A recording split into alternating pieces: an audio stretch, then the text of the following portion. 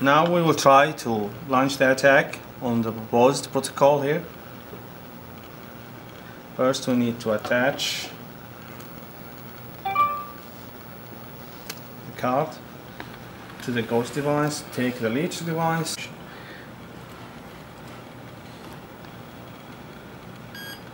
try to make the payment and here you go you can see the transaction has been denied because the message is either missing or doesn't match or the phone didn't get any command to uh, transfer the message. But here we transfer the message.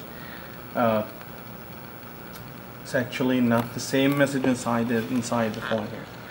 So the phone response with a 6F00 that means it's denied or failed. You can see here also on the ghost at the ghost device. You can see after the message matching command from the reader to the phone the phone aborted the command and rejected any command de one deactivate uh, service